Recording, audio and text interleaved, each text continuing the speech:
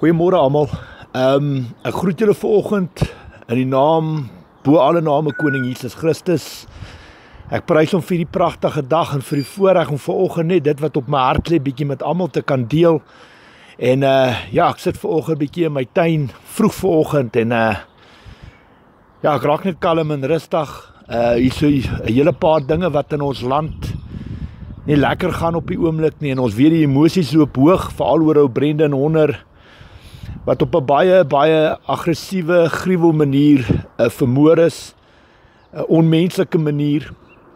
En weet julle wat, ek wil vanoggend my gedagte met almal deel. En van die staanspoor af wil ek vanoggend vir julle almal sê dat julle natuurlik 'n uh, 'n godsdienstige reg om van my te verskil. Maar op 'n einde van die dag moet jy nie deur my oë na die wêreld kyk of deur jou oë nie, jy moet deur God se oë na die wêreld kyk. En ek wil vandag vir julle sê, partykeer is 'n mens se bedoelings goed, maar partykeer raak jy oorywerig en jy raak oorgretig en jy be beweeg buite jou gesag autoriteit uit. En op die einde van die dag vir elke aksie is daar 'n reaksie uh op die besluite wat jy maak, die keuses en besluite wat jy maak. Um ek wil vandag vir julle sê uh die Here het vir my geleer om onpartydig te wees. Ek kies niemand en niks aan niemand se kant nie. Jakobus 2:9 sê die Here ons moet onpartydig wees. En uh die Here het vir my geleer dat hy het alles en almal geskape. Elke mens, elke dier, ehm um, jy sien alles daar aan die land en alles op die hemel, alles daarbo. En hy het vir my kom leer om deur sy oë na die wêreld te kyk Ehm uh, my liewe broer en suster, daar's 'n groot verskil tussen wêreldse mense en hemelse mense. Ehm um, die woord sê in Romeine 8 vers 5 dat uh, vleeslike mense bedink vleeslike dinge en geestelike mense bedink geestelike dinge. Vertaai uh, Romeine 8 vers 5. Nou baie belangrik vir God vir ons Vader wat in die hemel wat alles en almal geskape het is elke mens belangrik, witbruin en swart. Moord is moord in die Here se oë of jy nou vermoor word eh, op die Kaapse vlaktes of jy vermoor word in 'n plakkerskamp of jy vermoor word in 'n aborsie in oorlog binne die stad, binne die dorp en of jy op 'n op 'n op 'n op 'n plaas vermoor word in God se oë is moord moord. En ek kan vandag vir jou sê daar daar daar is nie hoe kan ek sê daar's nie verskillende vlakke van dood nie. Verstaan jy daar daar's verstaan jy soos 'n aborsie. Daai baba het nog eers die lig gesien nie en hy word uit uit 'n baarmoeder uit uitgeruk of eh, in stukke getrek en afgebring. Ek bedoel wat is vreer as dit? Ek bedoel dieselfde met jong dogtertjies wat op die Kaapse vlaktes verkrag word op 'n jong ouderdom vermoor word en in vrieskaste opgedruk word of onder in in in gutters gegooi word of in grond begrawe word. Wat is erger as dit? Verstaan jy wat is wat is wat is wat is erger as iemand wat vermoor word, gesteek word met messe, 'n kop, arms, bene, waar ook al en opgehang word aan 'n paal. Ek bedoel daar's maak nie saak die die uitkoms van van van enige moord is 'n klomp hartseer en en bitterheid en en so soveel on, on binne 'n mens se hart. En ek wil vandag vir sê emosies loop hoog. En ek wil vandag vir julle sê dat ek verstaan dat mense magteloos voel en en waar hulle ook al gaan verstaan jy die die die die, die waar hulle ook al gaan kry hulle koue skouers En mense is magteloos en ek wil vandag vir julle sê dit is nie net onder wit mense so nie, dis onder bruin mense ook so en baie van die swart mense ook. Hier's verskriklik baie hartseer in ons land. Maar of julle dit wil vanoggend hoor of julle dit nie wil hoor nie. Julle gaan soek julle hulp op die verkeerde plek. En ek sê dit met baie baie respek. My liewe broer suster, luister baie mooi vanoggend na my. Daar was nie 'n groter opstand en optogte as Black Friday gewees uh uh of Black Monday of wat dit ook al was, daai swart uh, vir die plaasmoorde, daai optogte reg oor die land, was dit 'n verskriklike groot op opkomste en betogings en mense wat hulle ondersteuning kom wys het vir plaasmoorde. En en nie lank terug het ons gesien hoe kom die mense in Kaapstad bymekaar hier in Pretoria, hoe duisende mense die hele wêreld vol jaag om hulle ondersteuning te gee vir hierdie ongevraagde moorde. En weet julle wat? Paaie word afgeblok. Uh uh, uh verstaan jy uh, die, hoe kan ek sê uh plakate word rondgeswaai en die een probeer groter op die troonstoel staan as die ander een om meneer te wees. Politieke leiers kom kry punte daardeur. En elkeen probeer nou die leier wees en elke een probeer nou sy emosies hoe hy daarna kyk op die tafel neersit. En weet julle wat? Kom ons wees eerlik vanoggend met mekaar. Waar het dit ons gebring? Waar het waar het dit julle gebring? van van van Red Oktober af is daar hoeveel opstande, soveel betogings, soveel mense wat wat wat wat wat aktiviste is in hierdie omgewing, wat in hierdie verskillende moorde aktiviste is soos vroue en kinders wat verkrag en en, en ons weet hoe staan vrouens op en hoe staan baie mense op vir plaasmoorde.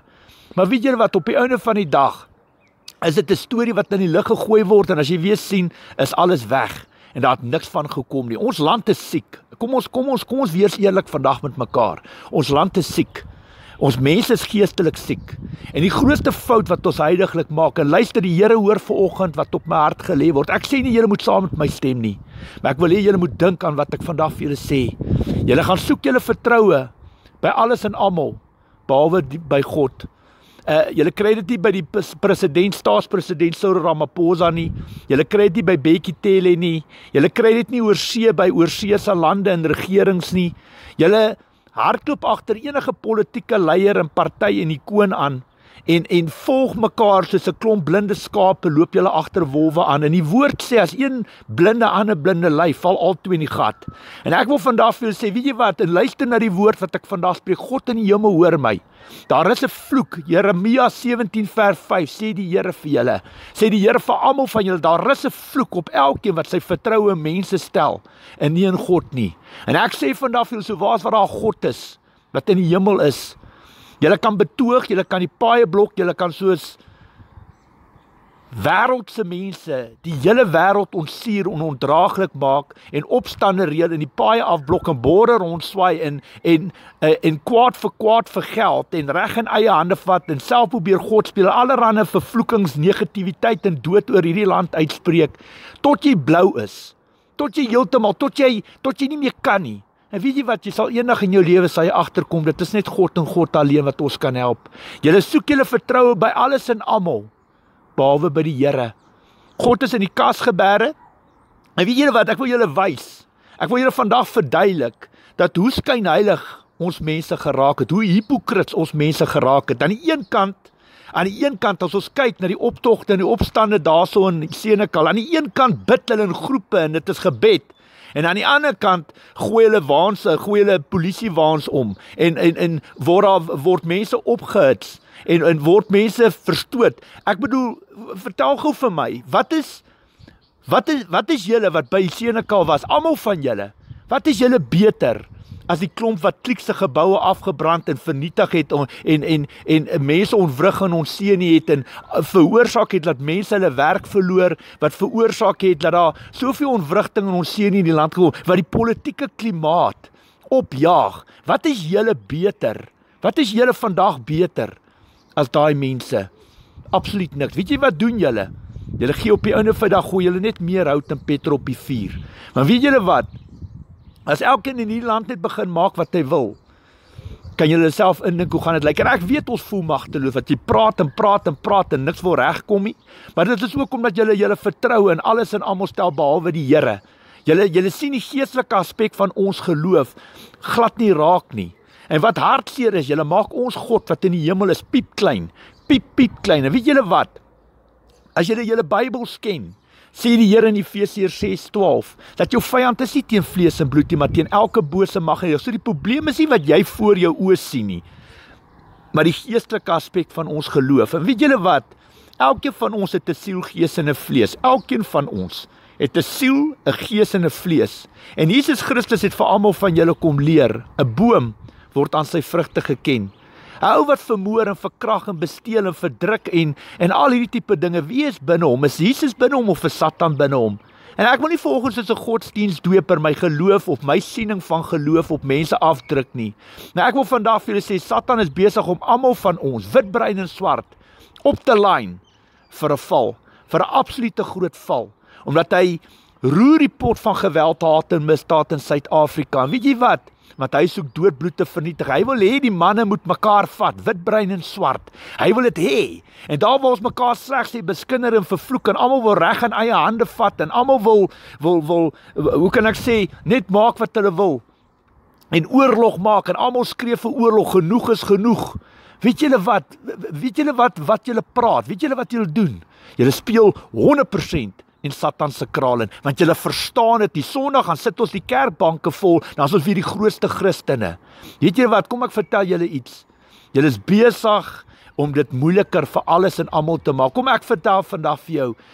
Ons krag lê onvoorwaardelike gebed. Baie mense vir my sê jy help jy bid nie, jy moet 'n vlees ook kan optree in geloof, maar weet jy wat? Gaan kyk na enige leier in die Bybel, enige leier. Moses, Dawid, Saul, gaan kyk waar het hulle hulle opdragte gekry. Gaan kyk uh, vir Gideon, gaan kyk vir Simeon, gaan kyk vir ag vir Samson, gaan kyk vir Joshua. Waar het hulle hulle opdragte gekry van God af? Hulle het hulle opdragte van God af gekry. My liewe broer suster, Ons mense is besig om so skape agter wolwe aan te hardloop. En ek sê dit met baie liefde en respek, maar ek is nie ek is niemand se vyand hier buitekant nie, maar ek praat vandag wat op my hart gelê word en ek sê vandag so waar waar daar God in die hemel is. As ons hier bymekaar kom en begin ophou ons vertroue in ander lande en ander presidente en allerlei aktiviste en allerlei ikone, politieke partye en leiers hier buite kan stel.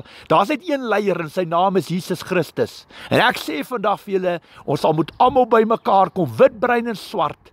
Almal wat hulle vertroue in Jesus Christus stel. Almal wat geraak word deur moord en verkrachtings in hierdie land onder wit, bruin en swart. Hier's baie hartseer, baie ongemak, baie bitterheid, baie seere mense se harte en ons land is ongekrappe. Weet wat gebeur? Mense voel magteloos. En weet wat? Of jy 'n swart pa is en of jy 'n bruin pa is of 'n wit pa is, dis nie lekker om jou kind te begrawe nie. Dis nie lekker om jou kind aan 'n paal te gaan ontvang of te, te, gaan kry of of of jou klein dogtertjie in 'n vrieskas te kry of onder in 'n gutter in die grond nie. Dit dit gun ek nie vir geen mens op aarde nie. Maar ons moet dit reg en goed kan hanteer. Jy weet wat, almal van ons kyk nou. Ons kyk nou, ons soek die antwoorde nou. Nou, nou, dit ons ons ons kyk na niks en niemand verder nie. Nie een van ons luister na die Here nie. En ek sê vandag vir jou God is 'n regverdige God. En hy het nie wit broodjies nie. Hy sê aannemer van 'n persoon nie. Net omdat ons sê ons is Christene beteken nie God gaan ons kan kies nie. Luister baie baie mooi. God straf tot in die derde en vierde geslag van die wat ons haat, wat hom haat. Maar hy betoon sy liefde tot aan die duisendste geslag van die wat hom liefhet. My liewe broer suster, luister baie baie mooi. Julle glo in die Heilige Gees. Julle sê dit, julle glo dit, God die Vader, Seun en Heilige Gees in julle kerke. Kan julle die Heilige Gees sien? Nee, julle kan nie.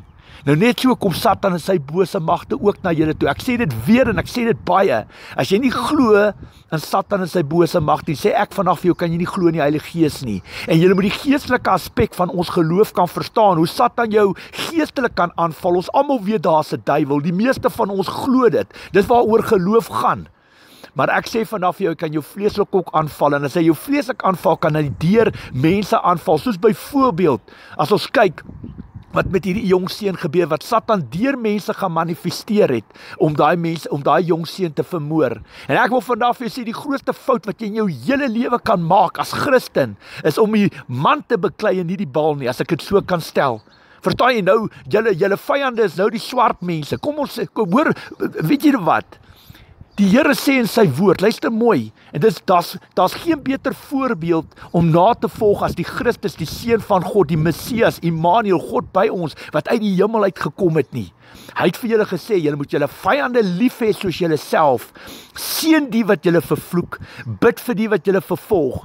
Klink dit onmoontlik? Ja, koor dit klink onmoontlik. Weet julle hoekom?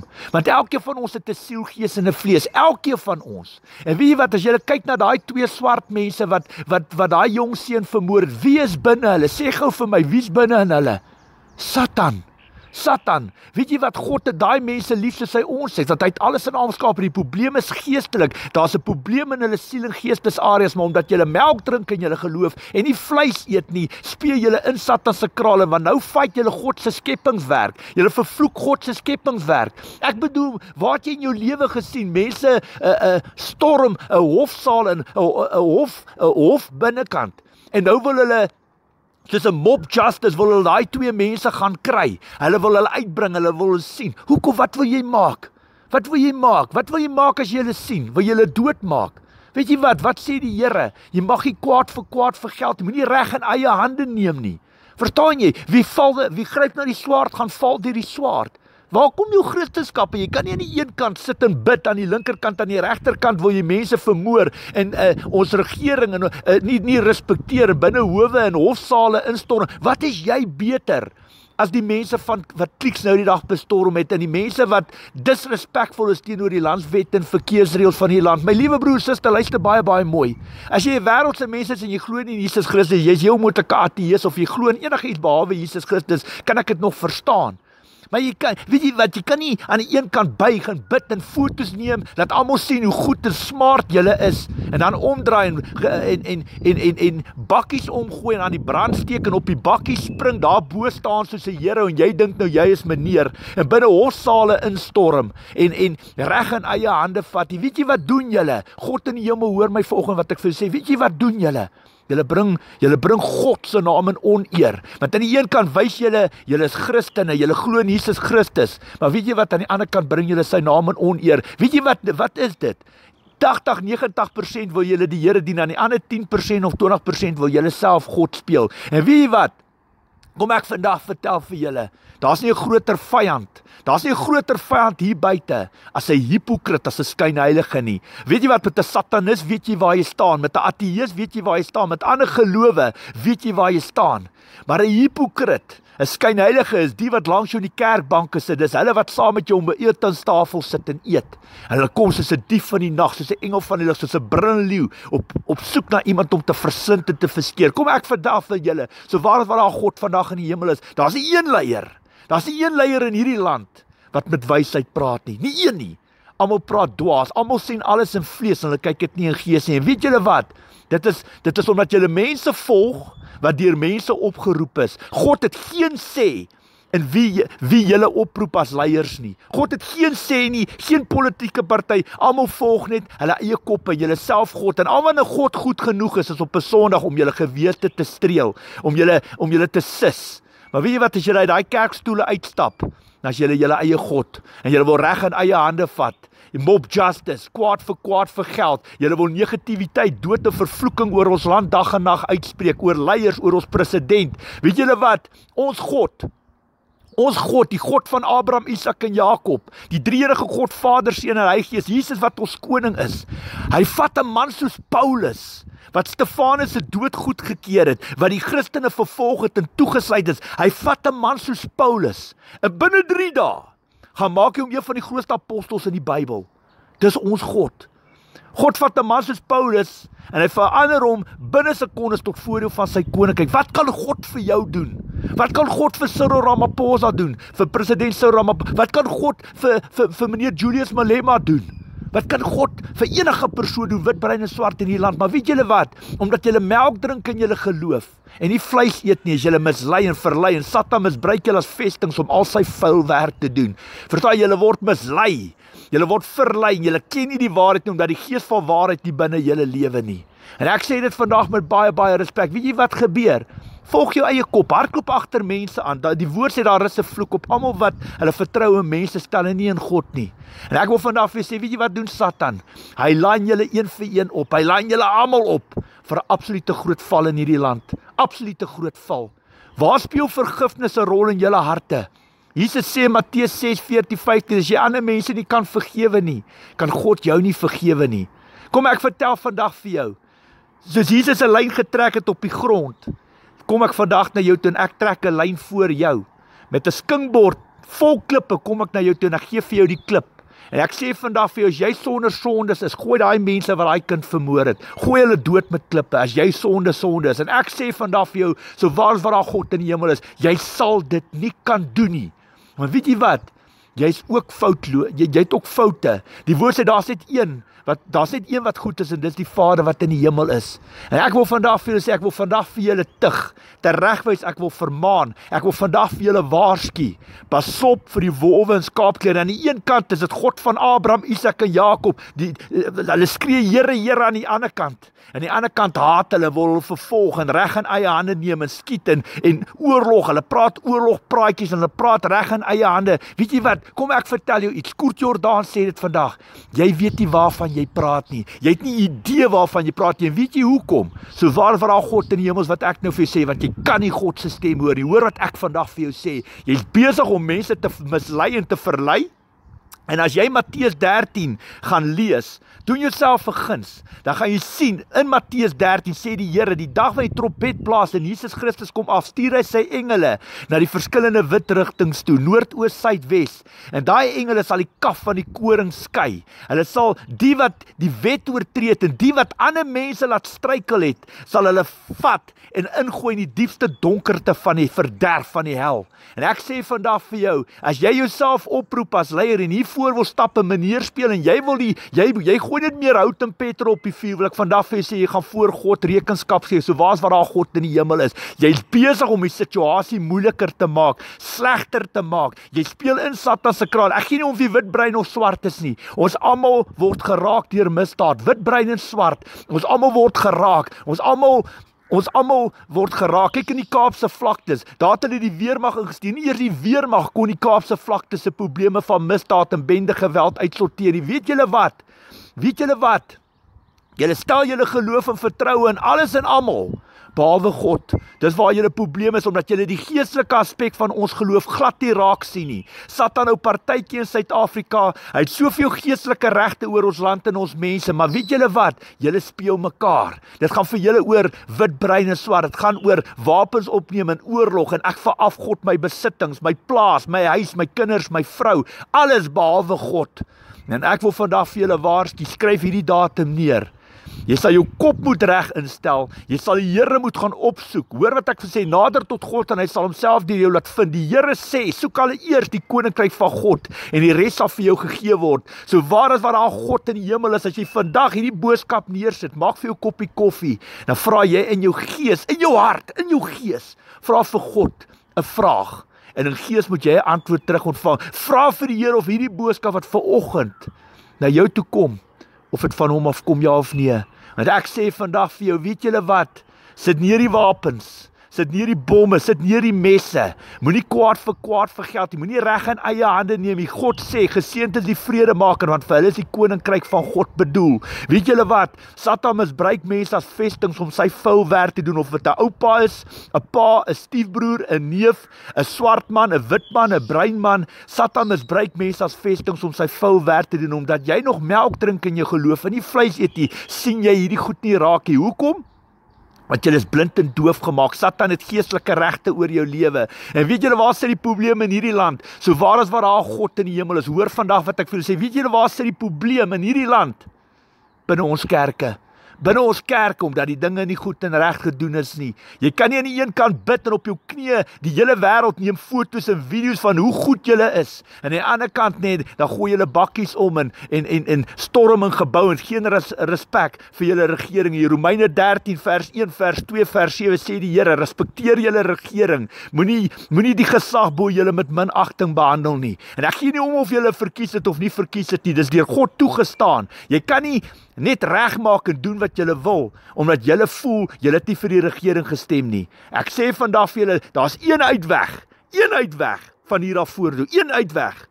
Ons sal mekaar almal moet vergewe, wit, bruin en swart. En ons sal moet ophou na al hierdie mense luister hier buite kan wat probeer God wees.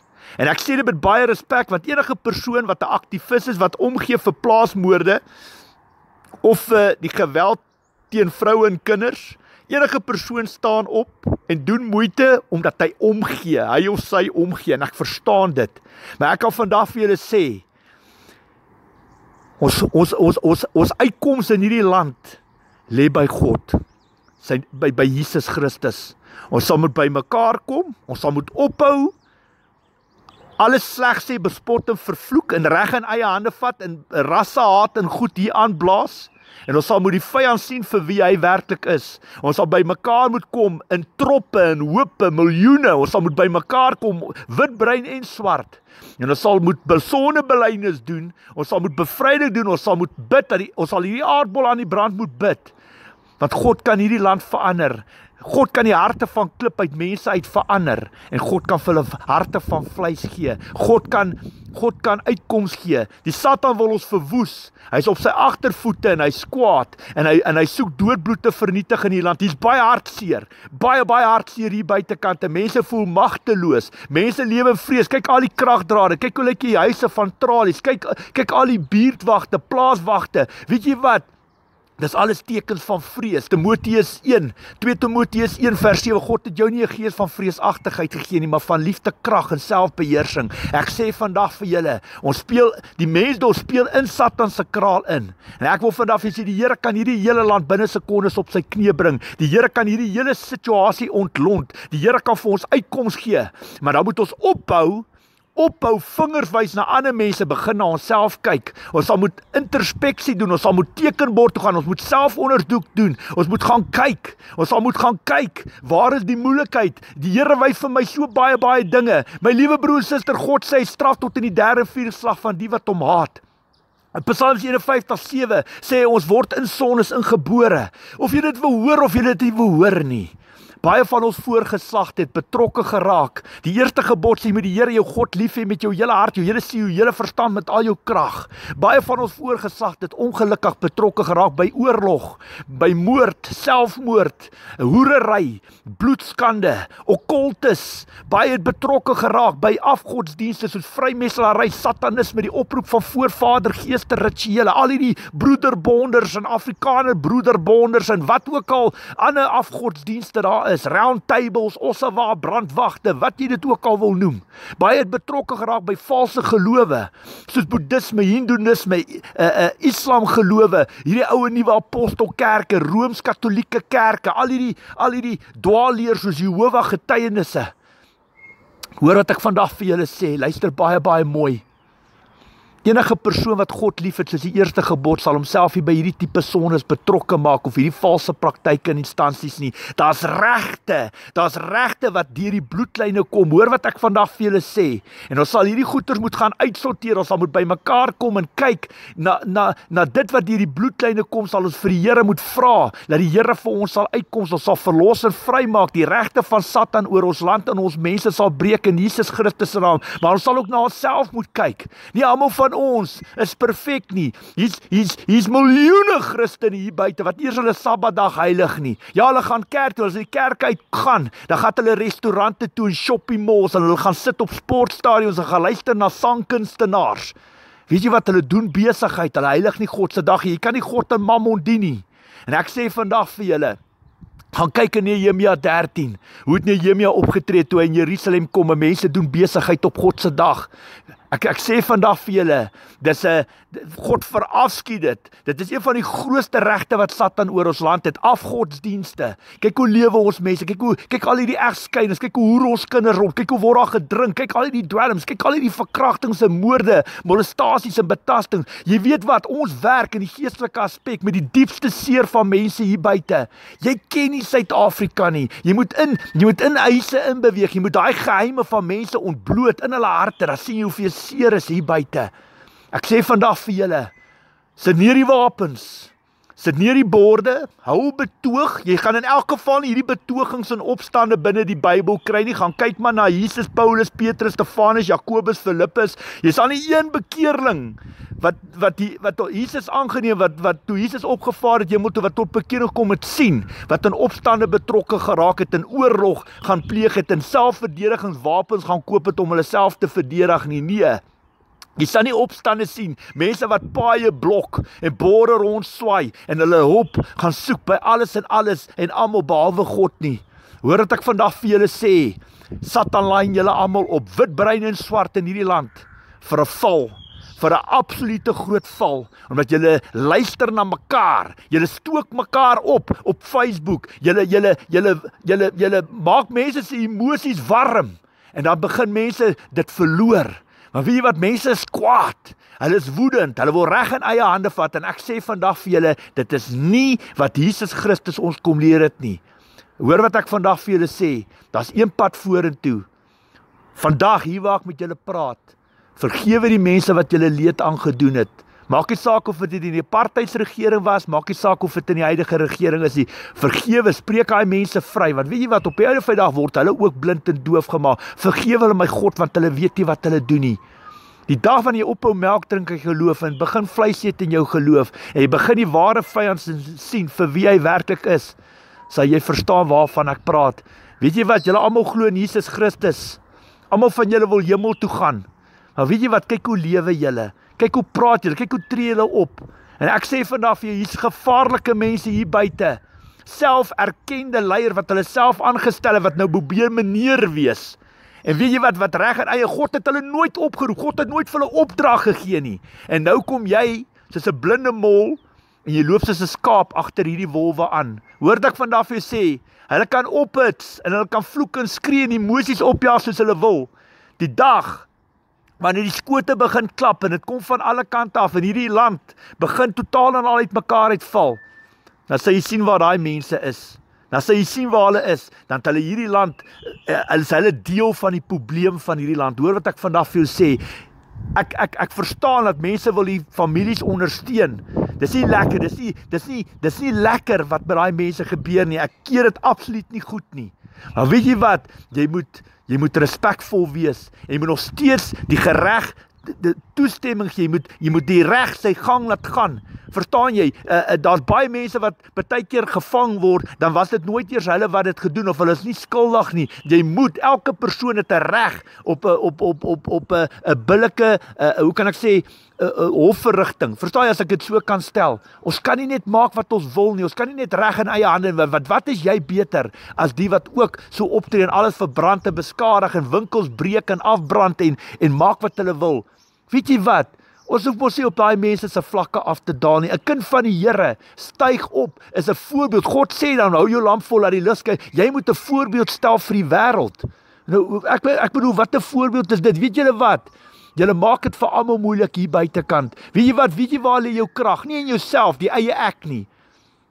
Jou krag lê in gebed. As jy werklik vandag jou hand opsteek en ek sê, Here, ek glo in 'n God die Vader sê hy ek, ek glo wat Jesus vir my aan die kruis gedoen. Ek glo dat Jesus hierdie land kan herstel. Lewe dit dan uit.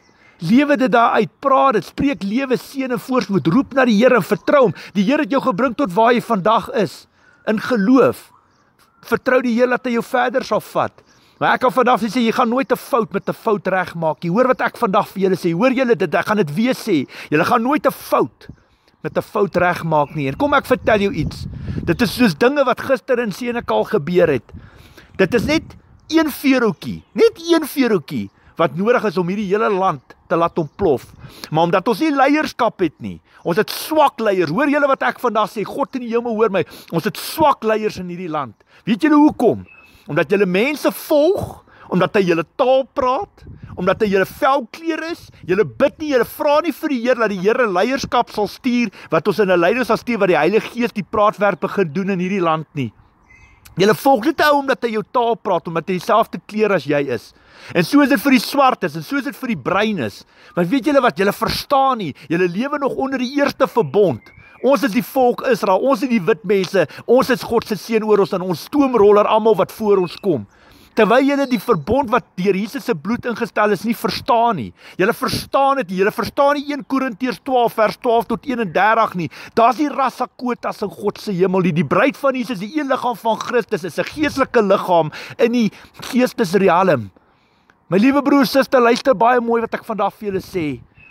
As 'n Jood, as Moses in Israel tot bekering kom, watter gees ontvang hy? Die Heilige Gees. As jy wat 'n boer is, uh, uh, vandag tot bekering kom, watter gees ontvang jy? Die Heilige Gees.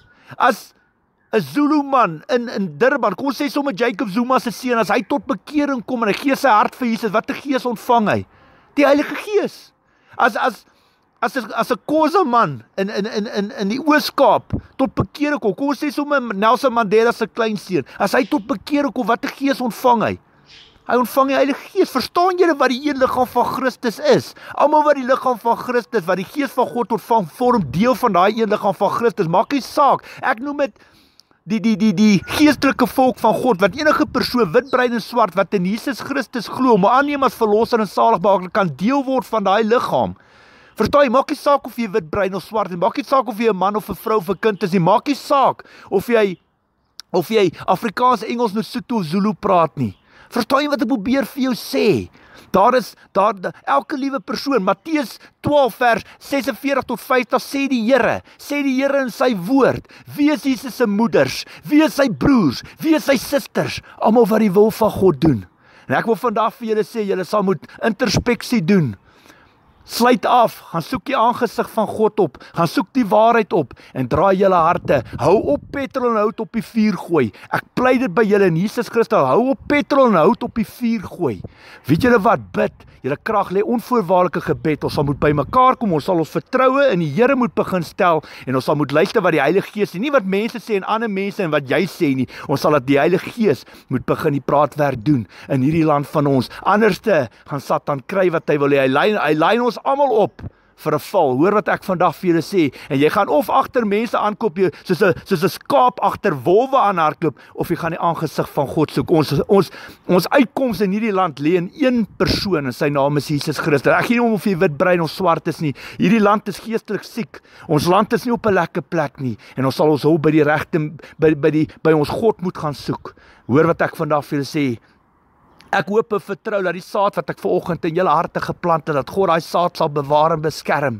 En dat die Here kunsmis se water sal gooi en daai lande sal inoes as die saad ryp is in Jesus Christus se naam. Dis my dis my gebed vandag. En ehm um, ja, sterkte vir die gesin en families. My innige simpatie met enige gesinne familie wat deur hierdie traumas en seer moet gaan. Ons sal moet terugdraai na die Here toe met 'n baie baie groot krag en laat die Heilige Gees begin die praatwerk doen. Mag die Here se seën oor hierdie woord weet vanoggend in Jesus Christus se naam. Amen.